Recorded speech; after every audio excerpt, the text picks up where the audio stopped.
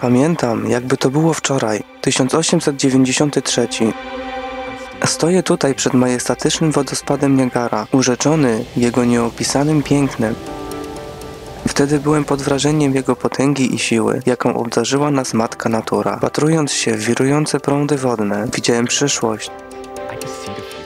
Świat, w którym miliardy ludzi żyją w jasnych i ciepłych domach, a fabryki napędzane są czystą i zrównoważoną energią. Zaledwie rok później w tym samym miejscu zainstalowano 10 generatorów prądu przemiennego mojego projektu. Stały się one fundamentem pierwszej na świecie wielkoskalowej elektrowni wodnej. Elektrownia numer 1 nad wodospadem Niagara pokazała światu, że woda może być źródłem niewyczerpalnej energii, wykorzystując siłę natury dla dobra ludzkości. W tamtych czasach mój dar przewidywania przyszłości pomógł dokonać rewolucji technologicznej i poprawić jakość życia pokoleń. Jednak dziś, stojąc na tym samym miejscu i obserwując te same wirujące prądy, widzę coś zupełnie innego. Widzę ogromne niebezpieczeństwo nadciągające nad całą planetę. To, co wydarzy się w najbliższej przyszłości, będzie kwestią życia i śmierci, nie tylko dla ludzkości, ale także dla Ciebie osobiście, mój drogi przyjacielu. W tym wystąpieniu wideo chcę ostrzec wszystkich, którzy słyszą i powiedzieć im, jak mogą uratować swoje życie. Rzeka Colorado dostarcza wodę do siedmiu stanów USA. W dorzeczu rzeki Colorado od ponad 20 lat trwa ogromna susza, najgorsza od 1200 lat. Problem ten dotknął już co najmniej 40 milionów ludzi. Ogólna podaż wody zmniejsza się bardzo szybko. Eksperci ostrzegają, że może to doprowadzić do powstania martwego basenu. Na horyzoncie nie ma żadnych znaczących burz, więc można z całą pewnością powiedzieć, że rok zakończymy sucho i będziemy kontynuować trwającą suszę.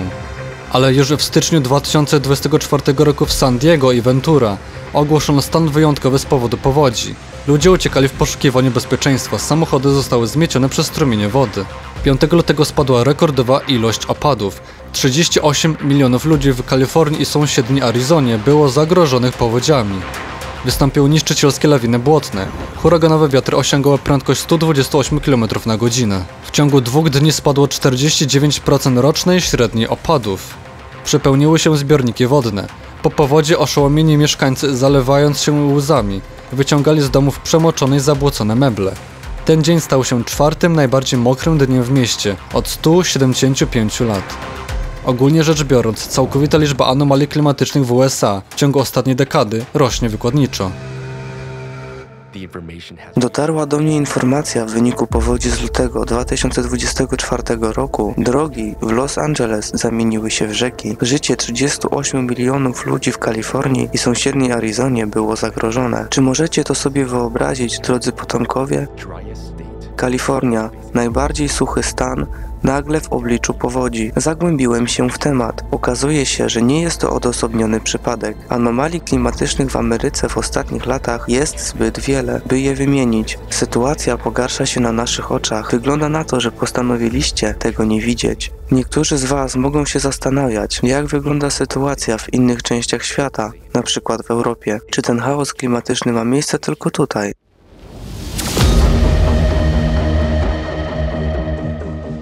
Europa od kilku lat cierpi z powodu poważnej suszy. Sytuacja osiągnęła punkt krytyczny latem 2022 roku, kiedy Europę nawiedziła najsilniejsza susza w ciągu ostatnich 500 lat. Nietypowe upały w krajach Unii Europejskiej porównywano do nadejścia apokalipsy. Francja walczyła z rozległymi pożarami lasów, podczas gdy w Szwajcarii stopiła się przełęcz pokryta lodem od 2000 lat. Według obliczeń łączne szkody wyrządzone krajom UE przez ekstremalne warunki pogodowe wyniosły 20 miliardów dolarów. Do 2023 roku sytuacja jeszcze się pogorszyła. Prawie każda rzeka w Unii Europejskiej w pewnym stopniu wyschła. W hiszpańskim regionie Katalonii ogłoszono stan wyjątkowy, ponieważ obszar ten stanął w obliczu najpoważniejszej suszy w swojej historii. Mieszkańcom zakazano mycia samochodów i napełniania basenów. Nietypowe upały doprowadziły do nieurodzaju, co spowodowało wzrost cen wszystkich produktów, w tym mięsa. Susza pogłębiła kryzys energetyczny w Europie. Z powodu niskiego poziomu wody większość elektrowni wodnych we Francji i Włoszech znacznie ograniczyła produkcję energii elektrycznej. We Francji woda stała się tak ciepła, że nie nadawała się do chłodzenia elektrowni jądrowych. Europa była jak boczek na patelni. Co dzieje się teraz? W 2024 roku Europa dochodzi do siebie po ulewnych deszczach, które nawiedziły kilka krów jednocześnie.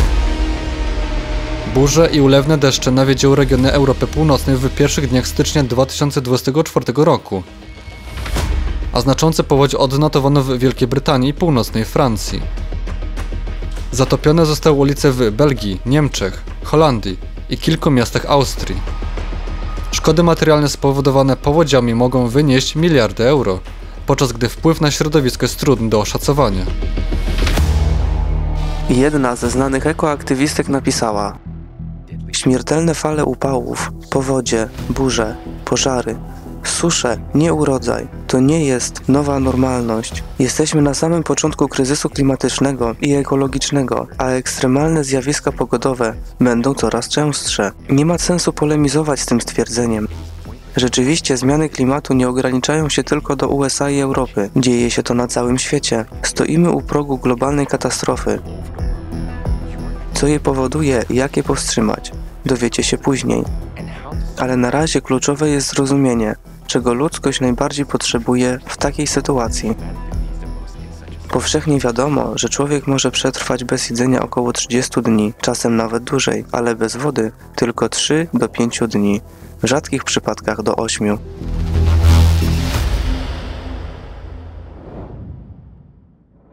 Naukowcy odkryli, że ponad połowa największych jezior i zbiorników wodnych na świecie zawiera obecnie mniej wody niż trzy dekady temu. Mniej wody w jeziorach i rzekach oznacza mniej wody do spożycia przez ludzi, a także do nawadniania i zastosowań przemysłowych. Niski poziom wody utrudnia wytwarzanie energii elektrycznej. Powodzie, które następują po długotrwałych suszach, nie łagodzą sytuacji. Woda nie może zostać wchłonięta przez suchą glebę. Płynie, jakby ślizgała się po lodzie, zmiatając wszystko na swojej drodze, powodując powodzie, lawiny błotne i osuwiska. Według najbardziej ostrożnych szacunków do 2030 roku ponad 40% światowej populacji będzie mieszkać w regionach dotkniętych niedoborem wody. W dużych miastach woda będzie racjonowana, a jej jakość będzie się stale pogarszać. Epidemie powrócą, przywracając średniowieczne choroby. Kryzys wodny doprowadzi do niedoborów żywności, wywołując migrację ludności na dużą skalę. Rządy upadną jak domki z kart. Regiony z zasobami wodnymi zamkną się w granicach niezwiązanych z granicami państwowymi. Niektóre kraje toną, podczas gdy inne wysychają, a niektóre przechodzą od wysychania do tonięcia. Sytuacja z wodą jest naprawdę krytyczna. Jak rozumiesz, z każdym rokiem staje się coraz bardziej dotkliwa. Wynika to z gwałtownego pogorszenia się klimatu, zanieczyszczenia środowiska i rosnącej liczby ludzi na świecie. Co więc można zrobić? Zanim poznacie rozwiązanie tego problemu, zobaczmy, co nauka, biznes i technologia mają do zaoferowania.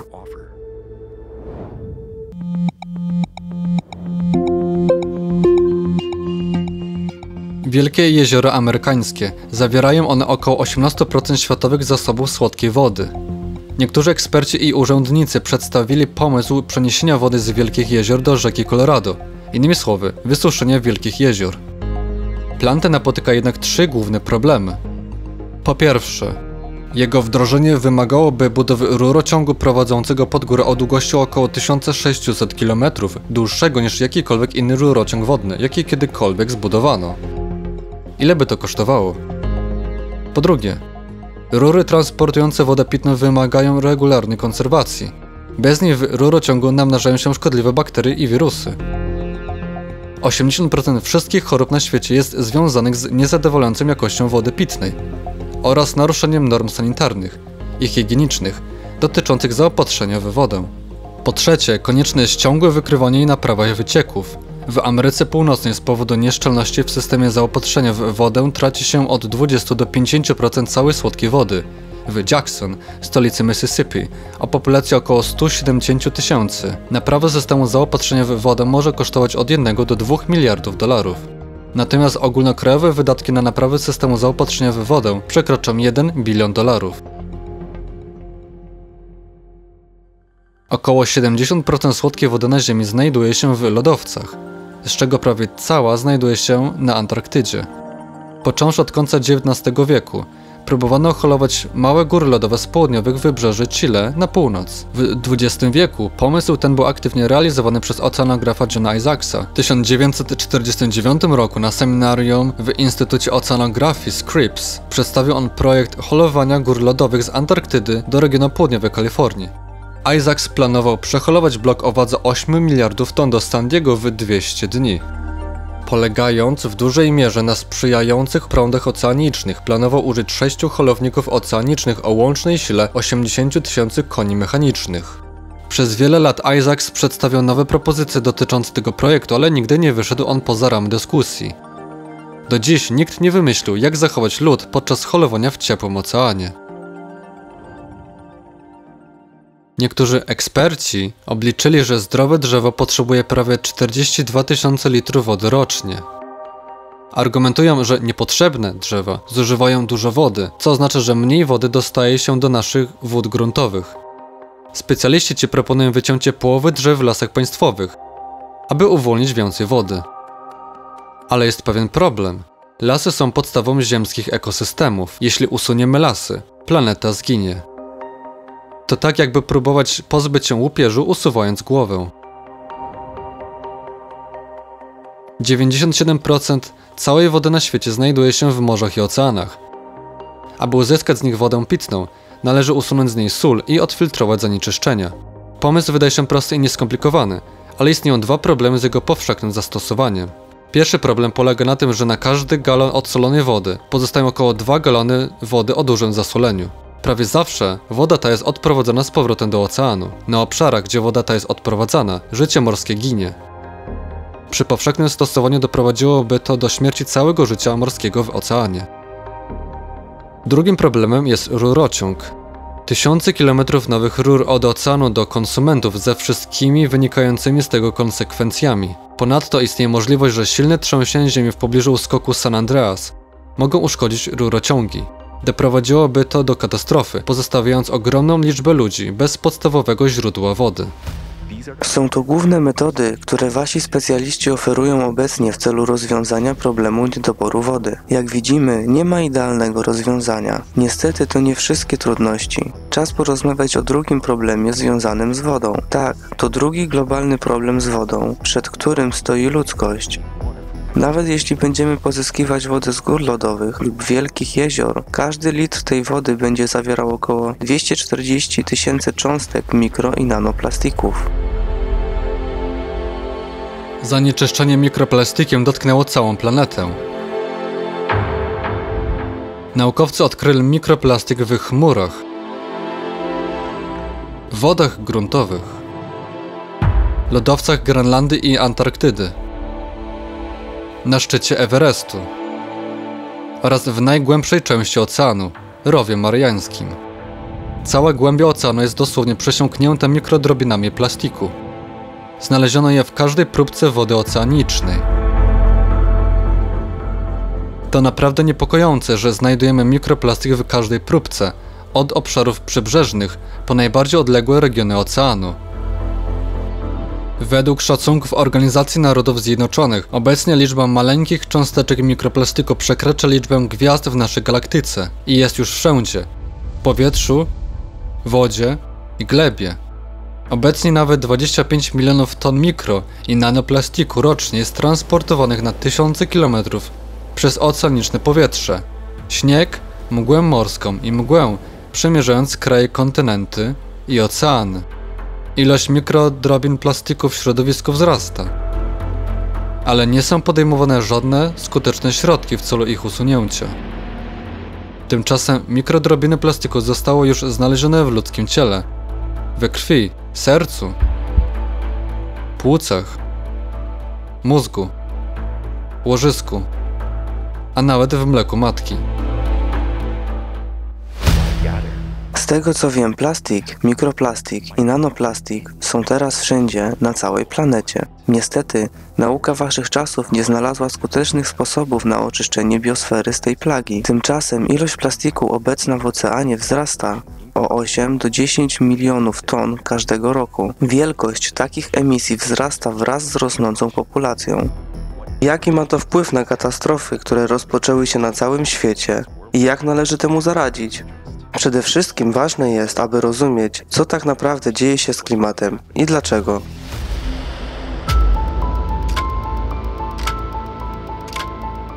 Nasza planeta pęka w szwach z powodu czynnika antropogenicznego i geodynamicznej aktywacji jej głębin. Trzęsień ziemi, ogromne powodzie, szalejące pożary, nieustające susze, osunięcie ziemi, cyklony i burze uderzyły na całym świecie.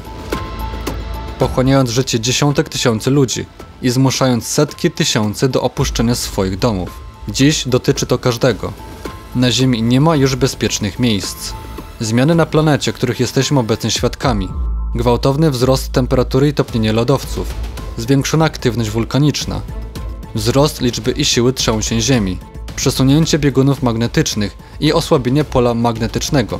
Występują co 12 tysięcy lat ze względu na wpływ zewnętrznych procesów kosmicznych. W wyniku tego wpływu jądro naszej planety nagrzewa się, wywołując reakcję łańcuchową katastrofalnych zmian na całej Ziemi. Potwierdzają to badania geochronologiczne osadów czwartorządowych, badania rdzeni lodowych, odkryty horyzont Uselo i wiele innych. W poprzednim cyklu, 12 tysięcy lat temu, globalne temperatury wzrosły aż o 15 stopni Celsjusza. W ciągu kilku dekad większość lodowców stopiła się. Rozpoczął się katastrofalne powodzie, tsunami i trzęsienie ziemi. Niektóre obszary ziemi zostały całkowicie zanurzone pod wodą z powodu intensywnego wzrostu poziomu mórz. Następnie jednak nastąpiło równie gwałtowne ochłodzenie. Podczas każdego cyklu dochodziło do przesuwania się biegunów. Pole magnetyczne Ziemi osłabło 8-10 razy. Osłabienie pola magnetycznego doprowadziło do wzrostu promieniowania kosmicznego.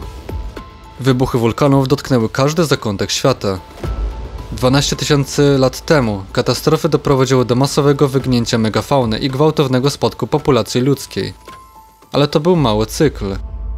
Teraz wkraczamy w większy, który ma znacznie większą siłę.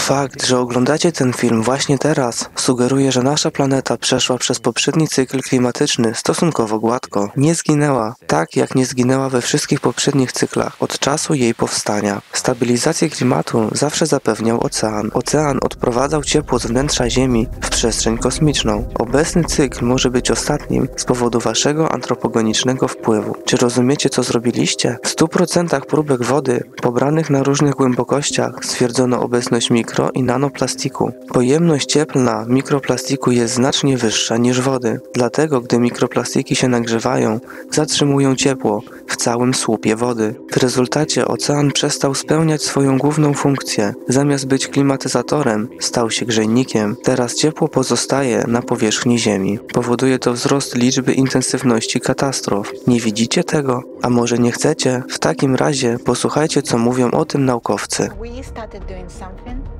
Zaczęliśmy robić coś, o czym nikt wcześniej nie pomyślał.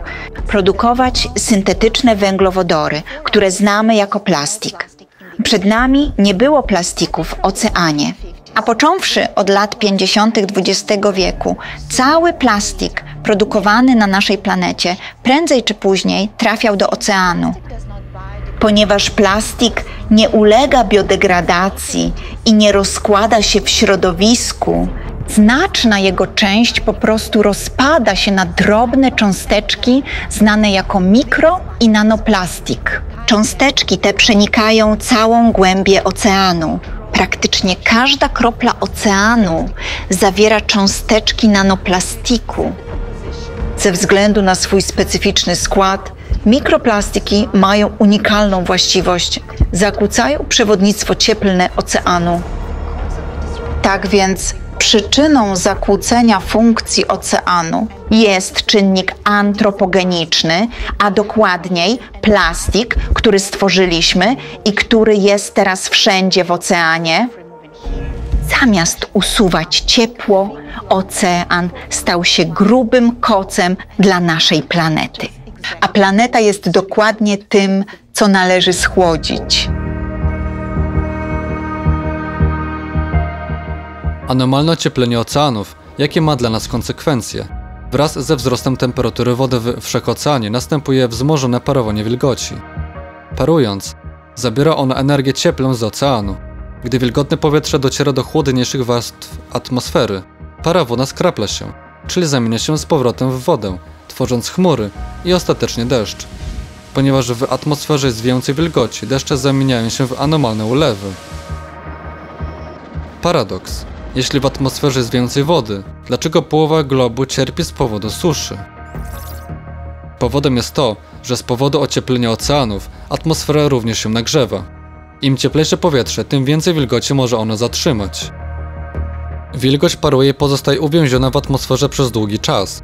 Woda nie wraca na Ziemię w postaci opadów przez dłuższy czas, co prowadzi do długotrwałych susz. Ostatecznie, gdy atmosfera zostanie nasycona wilgocią do punktu, w którym nie będzie już w stanie jej zatrzymać, wystąpią obfite opady deszczu. Jest to przyczyną jednoczesnego wzrostu liczby ekstremalnych susz i powodzi na całym świecie. To właśnie ciepły ocean i wilgotna, ciepła atmosfera zwiększają niszczycielską siłę huraganu. Woda skraplająca się w atmosferze uwalnia całe nagromadzone ciepło z powrotem do powietrza, które zostało pochłonięte podczas parowania. Ciepło to staje się głównym źródłem energii dla cyklonów tropikalnych. Kiedy wiatr, woda i ciepło łączą się, nabierają przerażające i niszczycielskie siły. Przykłady takich anomalii obserwujemy właśnie teraz. Freddy stał się pierwszym cyklonem tropikalnym na półkuli południowej, który przeszedł 7 oddzielnych rund gwałtownej intensyfikacji. Huragan Otis zaszokował klimatologów. W mniej niż 12 godzin zmienił się ze zwykłej burzy tropikalnej w huragan kategorii 5, czyli najwyższej kategorii. Innymi słowy, wzrósł o 5 poziomów w ciągu zaledwie pół dnia. Nigdy wcześniej tego nie zaobserwowano. Przy obecnym trendzie ocieplania się oceanów wkrótce na Ziemi nie będzie już bezpiecznych miejsc. Susze, powodzie i huragany w nadchodzących latach mogą sprawić, że życie na naszej planecie stanie się nie do zniesienia. Aby pomóc Wam lepiej zrozumieć, jak to działa, pozwólcie mi wyjaśnić mechanizm destabilizacji klimatu. Jest on bardzo prosty. Nawet dziecko może to pojąć. Tak więc wnętrze Ziemi jest intensywniej ogrzewane od rdzenia z powodu czynników antropogenicznych. Ogrzewanie rdzenia jest spowodowane zewnętrznym wpływem kosmicznym, na który planeta jest narażona co 12 tysięcy lat. Rosnąca intensywność huraganów, opadów deszczu i susz to dopiero początek. Do końca 2024 roku Ziemia zostanie narażona na bezpośrednie działanie promieni kosmicznych. Zanieczyszczony ocean nie poradzi sobie z rozproszeniem ciepła, dlatego eskalacja katastrof wyprzedza harmonogram. Na taką skalę dzieje się to po raz pierwszy w całym życiu naszej planety. Jeśli sytuacja z oceanem się nie poprawi, katastrofy zmiotą całe życie z powierzchni Ziemi. Zostało tylko kilka lat, zanim osiągniemy punkt bez powrotu. Co stanie się później? Według obliczeń waszych naukowców istnieje duże prawdopodobieństwo, że w 2036 roku z powodu przygrzania wnętrza Ziemi płaszcz może się stopić, powodując pęknięcie w rowie mariańskim. Woda przedostanie się do wnętrza Ziemi, co może doprowadzić do eksplozji, w wyniku której Ziemia straci atmosferę i zginie. A teraz najważniejsze. Macie okazję powstrzymać katastrofy i zapobiec upadkowi planety. Wdrożenie atmosferycznych generatorów wody da czas na rozwiązanie tego krytycznego zadania. Zobaczcie, co na ten temat mają do powiedzenia wynalazcy tej technologii. Jak działa technologia wytwarzania wody atmosferycznej? Woda paruje każdego dnia ze wszystkich oceanów, mórz i jezior. Kiedy znajdzie się na pewnej wysokości powyżej pewnego punktu, spada poniżej punktu rosy i staje się chmurą. Następnie oczywiście wiatr rozwiewa tę chmurę. Gdy spadnie poniżej punktu rosy, staje się deszczem i ponownie zmienia stan skupienia. Nie będziemy wymyślać koła na nowo. W tej chwili istnieją dwie, trzy, jeśli wziąć pod uwagę mieszankę, dwie metody pozyskiwania wody z powietrza. Jedną z nich jest użycie medium, przykład siatki lub środka osuszającego, który umieszcza się w powietrzu i który zasadniczo albo pochłania, albo wymusza kondensację. Drugim sposobem jest obniżenie temperatury powietrza do punktu rosy, dzięki czemu woda naturalnie się skrapla. Jest to technologia, która może tworzyć wodę w dowolnym miejscu, ponieważ technologia jest używana w taki sposób. Tworzy ogrzewanie i chłodzenie tworzy kondensację. Więc niezależnie od tego, czy jest to Devil's Valley w Nevadzie, czy na Saharze, nadal możemy tam wytwarzać wodę. Możemy więc wytwarzać wodę w dowolnym miejscu na planecie. Sposób, w jaki zaprojektowano urządzenie sprawia, że powietrze dostające się do urządzenia jest filtrowane. Woda jest skraplana z wilgoci zawartej w powietrzu. Jedyną rzeczą, której poszukuje urządzenie jest cząsteczka H2O, która jest mniejsza niż kawałek mikroplastiku. Filtracja usuwa wszystko. Następnie, gdy woda trafia do zbiornika, zanim trafi do konsumenta lub osób korzystających z wody, przechodzi przez kolejną dużą sekcję filtracji węglowej z dodatkiem srebra, dzięki czemu nie tylko utrudnia rozwój bakterii, ale także usuwa wszystko inne, co znajduje się w wodzie. To niesamowity proces. Czy technologia wytworzenia wody atmosferycznej może szkodzić środowisku lub zakłócić równowagę atmosferyczną? Będzie to miało pewien wpływ na środowisko, pozytywny wpływ. Gdy przetwarzamy powietrze z otoczenia, filtrujemy je również z zanieczyszczeń, np. smogu i gazów spalinowych, piasku i wszystkiego, co unosi się w powietrzu. Jest to więc jeden z efektów naszej pracy.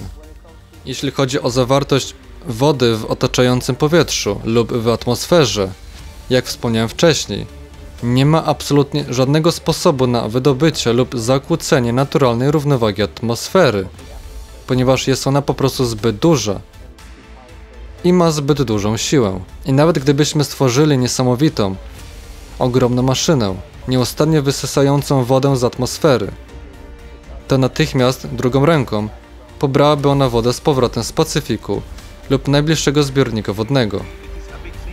Zgadzamy się, że korzystanie z atmosferycznego generatora wody w każdym domu jest bardzo ważne. Wtedy nigdy nie będzie używać się plastikowych butelek.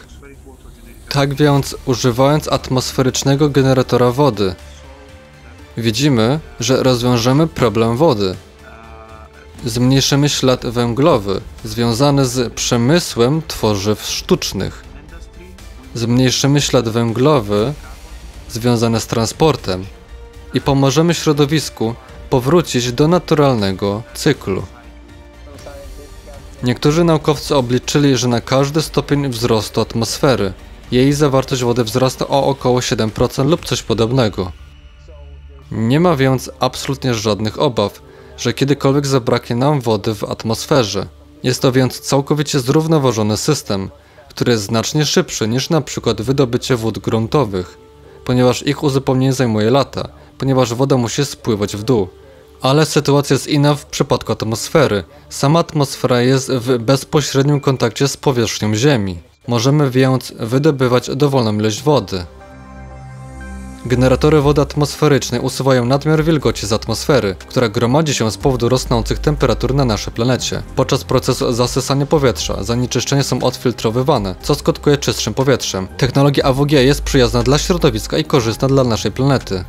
Czy technologia AWG może produkować wodę w wymaganej ilości? Nawet jeśli 8 miliardów ludzi pobierze 100 litrów wody z wilgoci, będzie wystarczająco dużo parowania, aby ją uzupełnić. I to właśnie powinniśmy robić. Jest czysta, prawda? I jest dostępna wszędzie dla każdego. E, Myślę więc, że nagle świat obudził się na myśl o tym alternatywnym źródle. Zaprojektowałem i rozwinąłem technologię do takiego stopnia, że mogę zbudować generator wody atmosferycznej, który może produkować ponad 100 tysięcy litrów dziennie. 200 tysięcy litrów dziennie. To już nie jest trudne. Trzeba tylko myśleć o tym wystarczająco długo. Tak więc moim celem tej technologii jest umożliwienie ludziom życia, gdziekolwiek chcieliby żyć i nigdy nie martwić się o niedobór wody. Ponieważ tak długo, jak możesz oddychać, tak długo, jak pobierasz powietrze, w tym powietrzu jest wilgoć. Zbudowaliśmy większe obiekty, w których możemy produkować kilka tysięcy galonów dziennie, jeśli chcemy, ale zużycie energii wzrasta proporcjonalnie. Więc sprowadza się to do pytania, co jest dla nas lepsze? Wyższe koszty kapitałowe zakupu, większej liczby obiektów, czy wyższe koszty operacyjne ich eksploatacji? Atmosferyczne generatory wody mogą wytwarzać dowolną, wymaganą ilość wody, w tym na potrzeby przemysłowe. Wygląda na to, że każdy kraj maksymalnie wykorzystuje swoje naturalne źródła wody i każdy ma swój przemysł i gospodarkę, w pewnym sensie dostosowaną do poziomu wód gruntowych, które mieli 20-30 lat temu. A teraz zmiana ta dotyczy w zasadzie wszystkich. Ale tak naprawdę największym problemem z wodą jest brak wody do nawadniania. Około 70% jest wykorzystywane do uprawy roślin, do produkcji żywności. Prawda. A to ma ogromny wpływ. Jeśli nie możesz zapewnić wody dla tych gałęzi przemysłu, zapomnij o możliwości wzięcia prysznica. Nie będziesz w stanie jeść, nie będziesz w stanie wytworzyć wystarczającej ilości żywności dla swojego przemysłu. Myślę, że będzie to miało bardzo poważny wpływ na życie wielu ludzi w krajach rozwiniętych. Jestem pewna, że teraz w Kalifornii tak wielu rolników rozważa samobójstwo z powodu utraty środków do życia, z powodu braku wody. Takie ekstremalne warunki będą w pewien sposób motywować. Bo gdybym poszła do rolnika, który stracił środki do życia w Kalifornii i powiedziała mu: Słuchaj, może pomogę ci zbudować szklarnię, zająć się hydroponiką, będę dostarczać ci wodę wydobywaną z powietrza, a ty będziesz mógł odbudować swój biznes. Jakie są perspektywy zastosowania jednostek AWG? Technologia AWG może zrewolucjonizować dotychczasowe zasady rolnictwa i stać się niezbędnym elementem niemal wszystkich cykli produkcyjnych. W jaki sposób technologia AWG pomoże ludziom w okresie globalnych zmian klimatycznych? Jeśli mówimy o niedoborze wody lub na przykład o palącej kwestii zmiany klimatu, albo o tym, jak najlepiej zadbać o ludzi w przypadku katastrofy. Pomyśl o huraganie, który przychodzi i powoduje nieoczekiwane problemy w dowolnym obszarze. Zazwyczaj huragany występują w bardzo ciepłych i wilgotnych środowiskach. Zawsze gdy dochodzi do zakłócenia łańcucha dostaw i logistyki wody, trzeba mieć natychmiastową gotowość do działania. I to właśnie są w stanie zapewnić niektóre z naszych opcji, które można albo z własnym źródłem prądu, albo z niektórymi wbudowanymi opcjami, które również stworzyliśmy, że można włączyć maszynę, rozpocząć produkcję wody i mieć najważniejsze źródło życia dostępne na żądanie. Jest to coś, co absolutnie wzięliśmy sobie do serca i opracowaliśmy kilka opcji. Ale AWG ma ogromne znaczenie w niesieniu pomocy i wsparcia w nagłych wypadkach i katastrofach klimatycznych. Atmosferyczne generatory wody mogą nie tylko zaspokoić zapotrzebowanie ludzi na świeżą wodę, ale także zapewnić bezpieczeństwo wodne w okresach globalnych zmian klimatycznych. Jakie są perspektywy zastosowania jednostek AWG? Jak już mówiłem, to dopiero rozwijająca się technologia nie osiągnęła jeszcze swojego szczytu.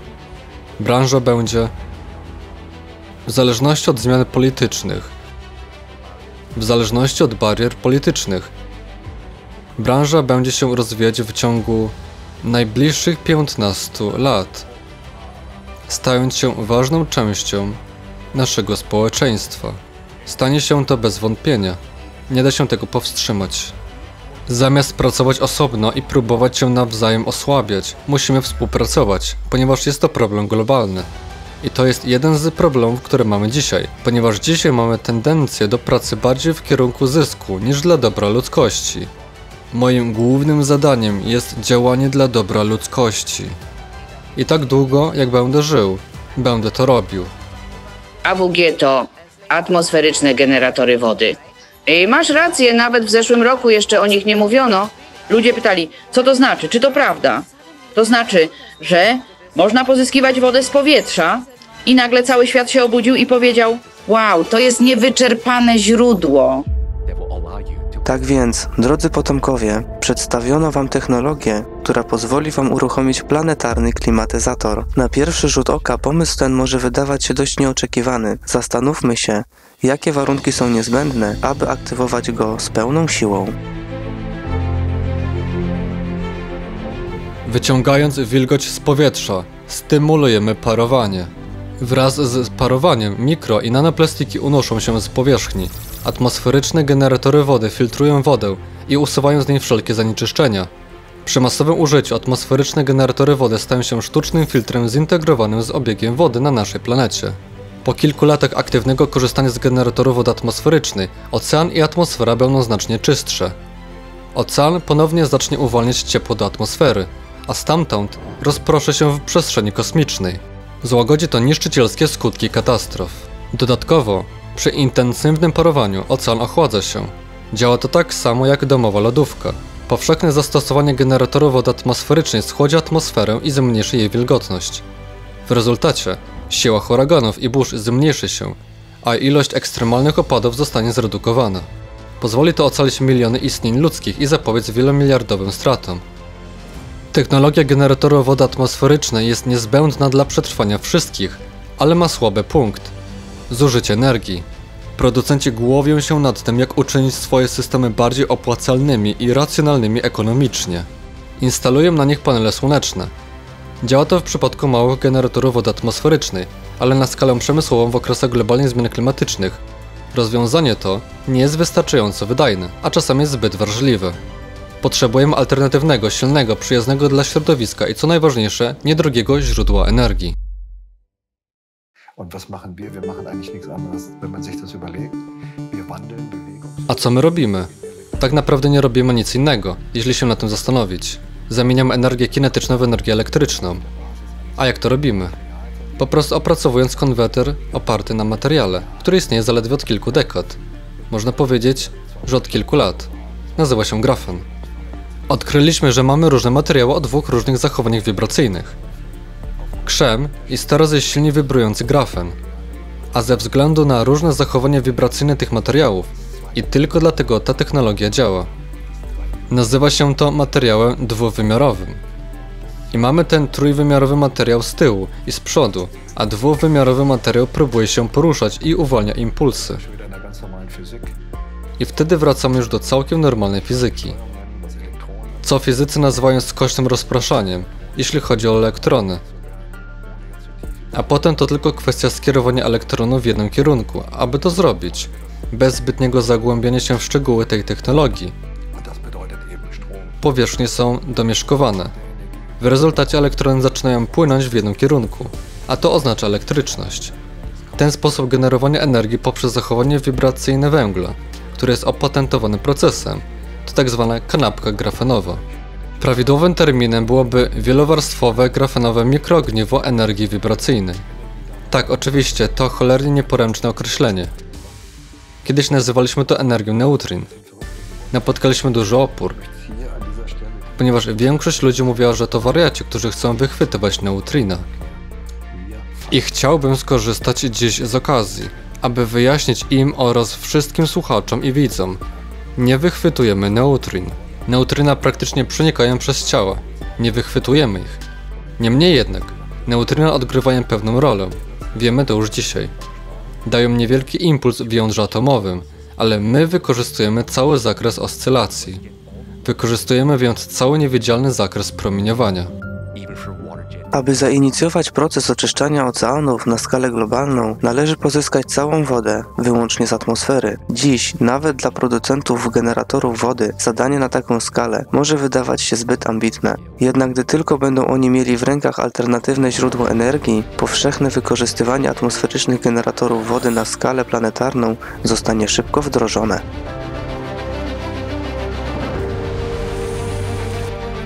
Pierwszym krokiem, który należy podjąć jest pełne przejście na generatory wody atmosferycznej i zaprzestanie pobierania wody ze źródeł powierzchniowych i podziemnych. Generatory wody atmosferycznej mogą produkować wystarczające ilości wody potrzebnej zarówno do picia, jak i do celów przemysłowych. Będą one miały kluczowe znaczenie w warunkach kryzysu wodnego i zapewnią trwałość dostaw wody. Drugim krokiem jest przebudowa systemów kanalizacyjnych. Woda nie może być odprowadzana do otwartych zbiorników wodnych powinna trafiać do gleby oczyszczona i dopiero po przejściu naturalnego dodatkowego oczyszczenia przez warstwy gleby powinna trafiać do zbiorników wodnych.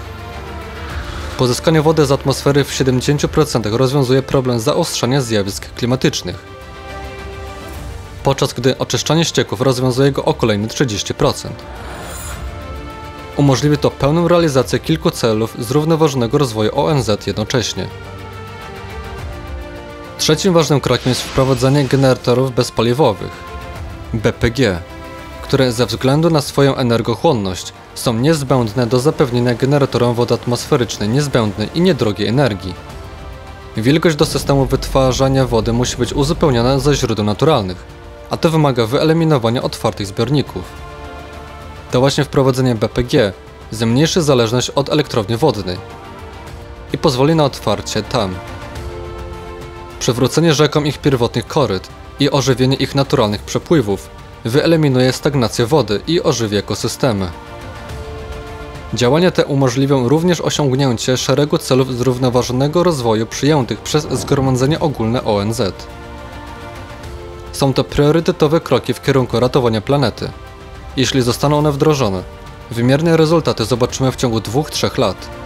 Ważne jest jednak, aby zrozumieć, że proces zmiany klimatycznych przyspiesza i nie będziemy w stanie go natychmiast zatrzymać. Dlatego w pierwszym roku sytuacja może się nieco pogorszyć, ale około 8-14 miesięcy później wszystko zacznie się poprawiać.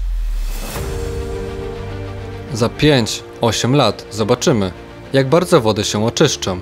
Przywróci to funkcję oceanu polegającą na chłodzeniu planety. Powodzie, susze, nietypowe wiatry i wahania temperatury znikną. Klimat stanie się o wiele łagodniejszy i bardziej przewidywalny. W ten sposób, dzięki wdrożeniu atmosferycznych generatorów wody, zyskamy dodatkowy czas na opracowanie tarczy, która ochroni naszą planetę przed zewnętrznym oddziaływaniem kosmicznym. Drodzy potomkowie, stoicie teraz na skraju przepaści i patrzycie, jak zbliża się katastrofa. Ale nic nie robicie. A to w czasie, gdy macie już niezbędne technologie. Dzięki generatorom atmosferycznym możecie naprawdę zyskać czas, którego naukowcy potrzebują, aby powstrzymać kataklizmy i ocalić Ziemię dla przyszłych pokoleń. To światowy projekt, jeden z kluczowych elementów układanki ratowania świata.